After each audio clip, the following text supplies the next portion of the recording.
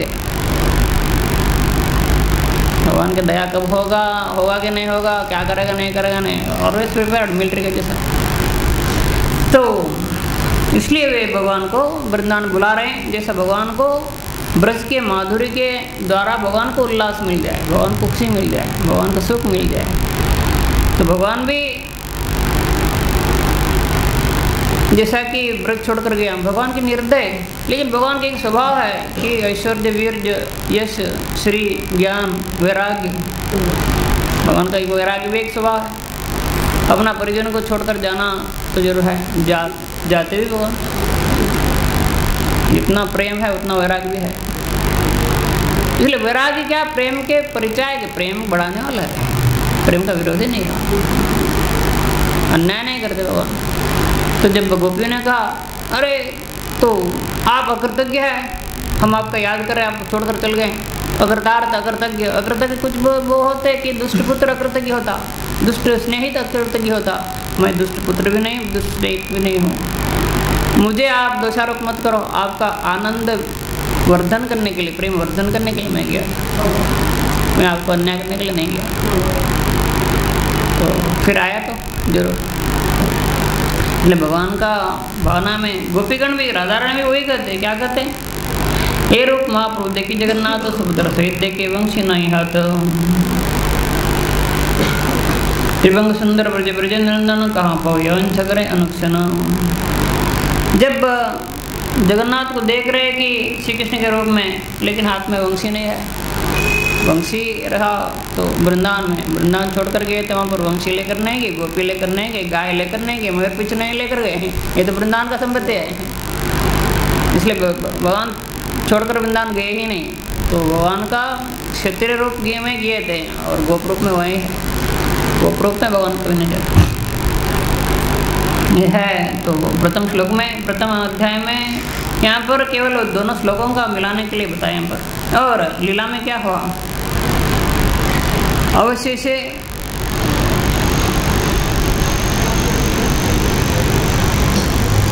पूर्व जयचे कुरुक्षेत्र सब गोपिगण कृष्ण दर्शन पाए आनंदित मनो जगन्नाथ देखी प्रभु सी भाव विठला सी भाव इष्ट है दुआ गवायला। अवश्य से राधा कृष्ण करे निवेदन, से तुम्हें से आम्ही से नव संगम तथापि हमार मन होवे। हरे वृंदावन वृंदावन उदय करो अपना चरण। तो राधा रानी अंत में करेगी, आप वही है, मैं भी वही हूँ, लेकिन आप दया करके एक काम करो, वृंदावन में आप अपना चरण उदय कराओ। आपके वाणी भी सत्य करो। आपने बताया था ना आएगा बोलकर। वृंदावन में फिर भगवान आए थे, ये तो प्रमाण दे रहे कि विष्णु चक्रता करो हमको साधारण ग्रंथ में उसका प्रमाण नहीं मिलता, भागवत में प्रमाण है। भगवान अंत में आकर गोपियों को लेकर गए अपना धाम वृंदावन भगवान लेकर आएगा बोलकर, बोला था, भगवान नहीं आए ऐसे कोई बात नहीं। भगवान गए थे। कब गए थे, क्या गए थे, वो गोस्वामी कर जानते हैं। बहुत लोग नहीं जानते। यहाँ पर राधा रानी कहते हैं, वृंदावन में आपके चरणारण हृदय कराओ। यहाँ पर क्यों अच्छा नहीं लग रहा है? लोकारण्य, हाथी, घोड़ा, रथध्वनि, ता पुष्पारण्य, भृंग पिक नाद सुनी। ए राजवेश संग सब क्षत्रियगण, तहाँ गोपवेश, संग मुरलीधन कंपेयर करें, फिर क्या था? यहाँ पर लोकारण्य, लोगों का भीड़ इतना। ये तो बहिर्मुख लोग है। और हाथी, घोड़ा रथध्वनि साउंड पोल्यूशन वहाँ पर क्या पुष्पारण्य? मतलब जो है वन, भृंग, पिक नाद सुने पिक मतलब कोयल और भृंग। और सब पक्षियों का जो सुंदर ध्वनि। यहाँ पर राजवेश सब क्षत्रिय गण। राजवेश क्या है? राजवेश में क्या जो ऐश्वर्य है? माधुर्य नहीं।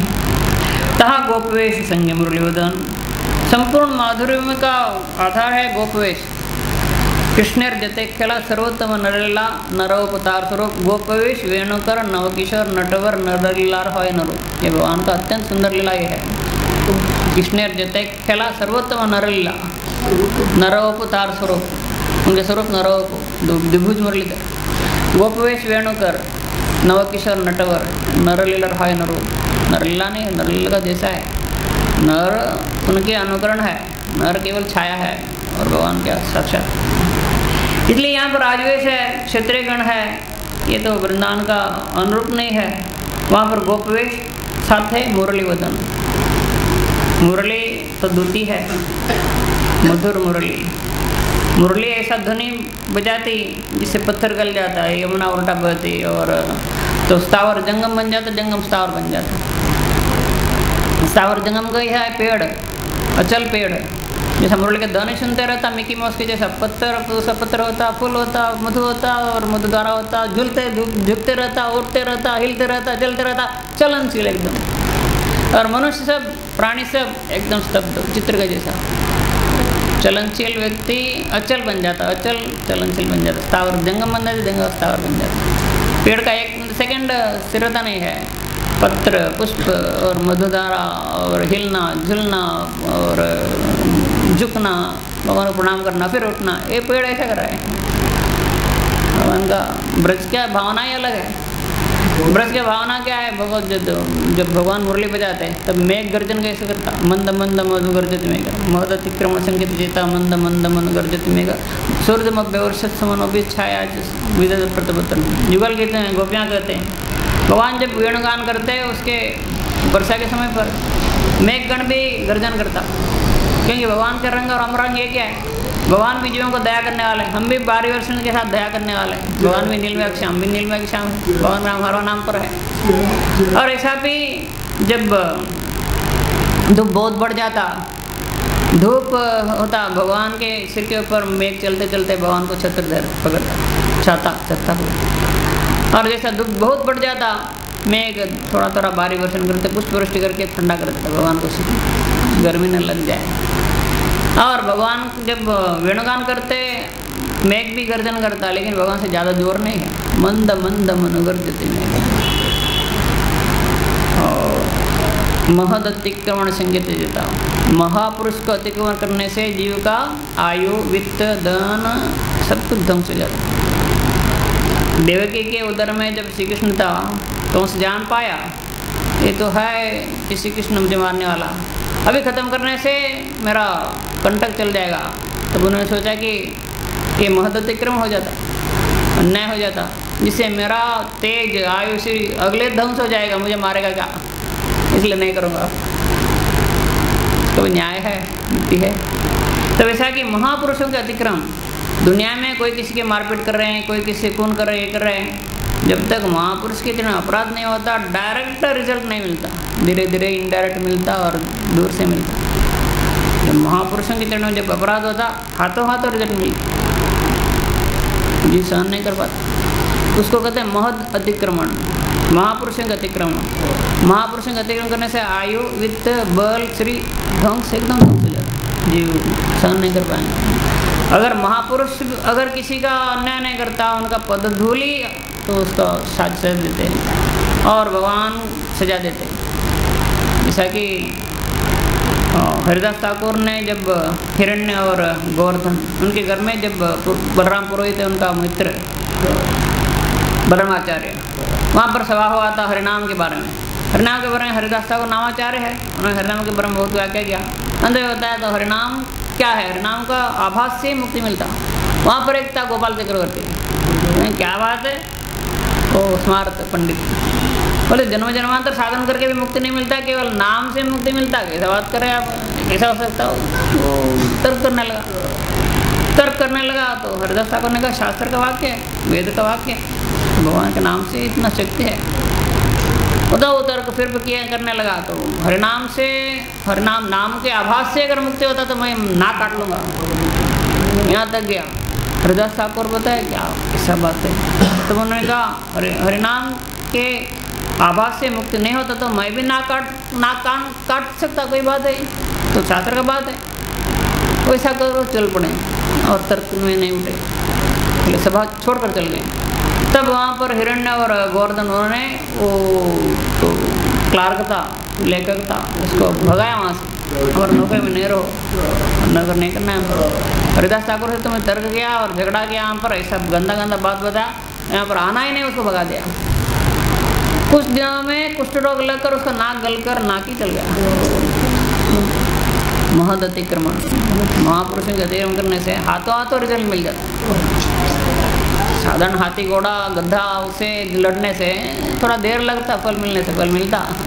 लेकिन महापुरुषों से अगर कोई टकराव लेते तो हाथों तो जब नित्यानंद प्रभु गए थे रामचंद्र खान के वहाँ पर बेनापोल में। उनकी चंडी मंडप में बैठकर कीर्तन करने लगे।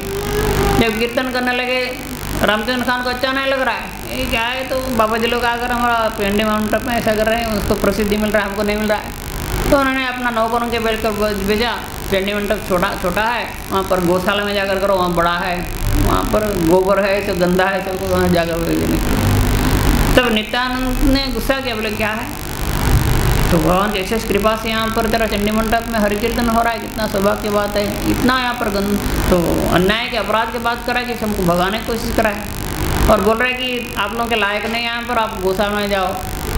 ठीक, हमको लायक नहीं ना, मैं भी बता रहा हूँ, हमको लायक नहीं है। ठीक ये जगह लायक इसके लिए म्लेच्छ, अमेध भक्षण करने वाले हैं, दुष्ट और शैतान, ऐसा लोगों के लायक है। जाएँगे पड़े उसका कुछ दिन के बाद वहाँ का नवाब का जो सेवक, सिपाही। नवाब ने देखा कि रामचंद्र खान बहुत उद्दत बन गया, हमको टैक्स नहीं दे रहा, ठीक ठीक। तो इतना दिन से नहीं दे रहा, उसको खबर ले लो। खबर ले लो बोलकर सेना भेज दिया। जब सेना भेज दिया, उन्होंने आकर रामचंद्र को, उनको बाँध के लेकर चल गए घर वालों को लौट लिया, बाँध लिया, मार लिया, पीट लिया, सब कुछ कर लिया। सारा ग्राम को उजड़ कर दिया। सारा ग्राम ध्वंस जैसा सुनामी आने से जो होता। और वहाँ पर चंडी मंड में बैठकर गोवध करके, मांसाहार करके वहाँ पर खाकर गंदगी करके चल सारा ग्राम चल गया। एक व्यक्ति का यथा राजा तथा पर जाओ। वहाँ का मालिक होता ना तो ऊपर वाला ऐसा गंद करने, गलत करने से सारा देश को लग जाता महत्तिक्रमण संगीत हाँ वृंदावन के एक है। तो मेघगण इसलिए तो भगवान के वेणुगान का व्याघात न हो जाए। इसलिए वेणुगान जैसा होता है, उसके पीछे पीछे पीछे पीछे, धीरे धीरे आवाज़ करते हैं। और जैसा कि धूप में छतरी धरते रहते हैं, मेघ चलते रहता है ये तो नेचुरल सीनरी है, लेकिन परमार्थ में कितना उसका सौंदर्य है। और जैसा कि बहुत गर्मी बढ़ जाता, भगवान की गर्मी न लगना, इसलिए धीरे धीरे धीरे धीरे पुष्पवृष्टि, अर्थात डिजलिंग इससे भगवान का सेवा वृक्ष का भाव ही अलग है। और कहते हैं, ब्रज तुम्हार संगीत से सुख सदन, से सुख समुद्र रिहा न ही एक कण। ब्रज में आपके साथ हमने जो सुख आसदन किया था, यहाँ पर उसका एक कणी का भी नहीं मिल रहा है। कुरुक्षेत्र में आपका दर्शन मिल रहा है। हम भी वही है। लेकिन आपके दर्शन से वहाँ पर जो सुख मिला था इसलिए परिवेश बहुत इम्पोर्टेंट है। Environment is very important environment न रहे तो कोई बात ही नहीं होती। तो जिससे एनवायरमेंट में जिस काम होता है, और एक एनवायरमेंट में वो काम नहीं होता। इसलिए एनवायरमेंट परिवेश बहुत इंपॉर्टेंट है। जैसे वृंदावन के परिवेश में जो काम होता, जो सेवा होता, जो लीला होता, वो तो कुरुक्षेत्र में नहीं होता, द्वारका में नहीं होता मथुरा में नहीं होता। वहाँ का चीज़ अलग है। और दुनिया में सारा जगत में, त्रिजगत में पृथ्वी धन्य, पृथ्वी में ब्रज धन्य, ब्रज में वृंदावन धन्य, वहाँ पर राधा कुंड धन्य। इसलिए इसे, इसी श्रेष्ठ काम पर मिलता है। से सुख समुद्र यह नागी एक कण। यहाँ पर राजगण है, राजवेश है हाथी घोड़ा है, आयुध सब कुछ है, लेकिन वहाँ का जो सुख समुद्र का एक कणिका भी नहीं मिल रहा है। आमालया पुनः लीला कर वृंदावन है तभी हमारा मनोवंच है तो पुराने आमा को ले मुझे लेकर आप वृंदावन लीला करो, तब मेरा मनोवंच पूर्ण होता है। तो कृष्ण पूछ रहे हैं ना, आपका मनोवांचा क्या है? तत्सुखे सुखी तुम, ये भी वही काम है। तो भगवान आए तो ज़रूर है समंत वंचक में। लेकिन भगवान को एक सुख मिल रहा है। सुख तो नहीं मिल रहा है। लेकिन भक्ति भक्तों के लिए, सेवकों के लिए करना पड़ता। अभी भगवान तो व्रत छोड़ कर जाना नहीं चाहता। जो जब भगवान को लेने के लिए आए थे अक्रूर को भेजा था कंस ने वो जानता अक्रूर भक्त है, ऐसा भी लेकर आएगा। ठीक बात है। अक्रूर तो गोपियाँ कहते अक्रूर क्या क्रूर है, भगवान लेकर जाने वाला है कैसा क्रूर है फिर भी भगवान कह रहे कि अच्छा बात है, भगवान को जाना पड़ा। तो अक्रूर कह रहे कि प्रभु जी आप तो यहाँ पर इतना दिन बिताया। आपका पिता माता वहाँ पर कहूँ से बार बार बोल रहे, मार डालूँगा मार डालूँगा। उनको बचाने का आपका काम है ना। आप आए क्या? परित्राण है साधुना विनाशा दुष्कृताम वहाँ साधुओं को परित्राण करना आपका काम है ना। आप नहीं जाते तो वहाँ पर कम से उनको बार बार सता रहे बार बार मारने मारने की कोशिश कर रहे कभी कभी डाल रहे, डाल, खींच रहे। तो आप प्रभु आप दया में है उसको, भगवान बोलते, मेरा काम तो वही भी, वो भी मेरा काम है ना? इसलिए भगवान तो गए। तो राधा रानी भगवान को दोष नहीं दे रहे। बोल रहे, भगवान, आप जो गए थे, ये तो हमको दुख ज़रूर लग रहा है कि हमारा दुर्भाग्य है। आप दयामय है। आप भगवान कभी ना दोष देते। तो बातों में बातों में तो तुम काला है, अमुक है, गोरा है, अमुक है। लेकिन राधा रानी का बातों का जो मर्म जो है, भगवान को सुख देना। मक्खन चोर बोलकर, तुम चोर, तुम अमुक। अपना जिद्दी के लिए नहीं, अभिमान करते, अपना जिद्दी के लिए नहीं, अभिमान करते, उसमें भगवान का सुख है। इसलिए भगवान क्या कहता?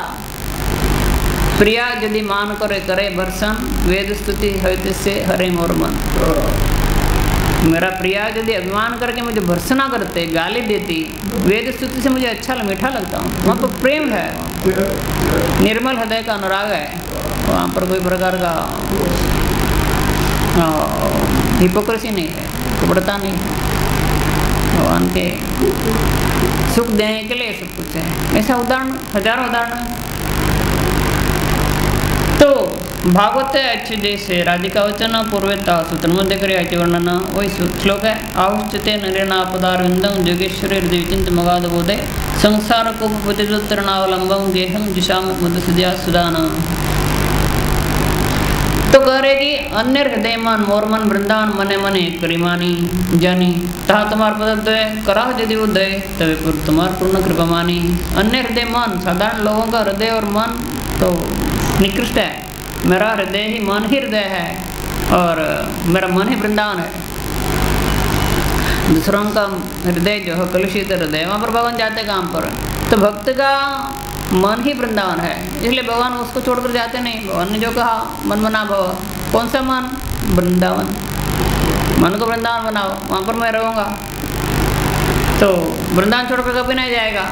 मन को वृंदावन करने से भगवान वहाँ रहेगा। इसलिए क्या कहते हैं? मोर मन वृंदावन मने बने एक करे जानी। मेरा मन ही वृंदावन है। मेरा मन में रहो वृंदावन में रहो। दोनों एक ही चीज़ है। तो उस मन में और वृंदावन में तहा तुम्हारे पदोदय कराओ यदि उदय। उस वृंदावन में आप अपने चरणारिंद को उदय कराओ। तब मैं जानता कि आपका पूर्ण कृपा है। नहीं तो कृपा मैं सम, कैसे समझूँ? प्राणा सुनम और निवेदन ब्रजत अमर सदन तह तमर संगम ना पहले ना रहे जीवन। ब्रज मर अमर सदन है। ब्रज मेरा सदन है, मेरा घर है। ब्रज छोड़कर हम जा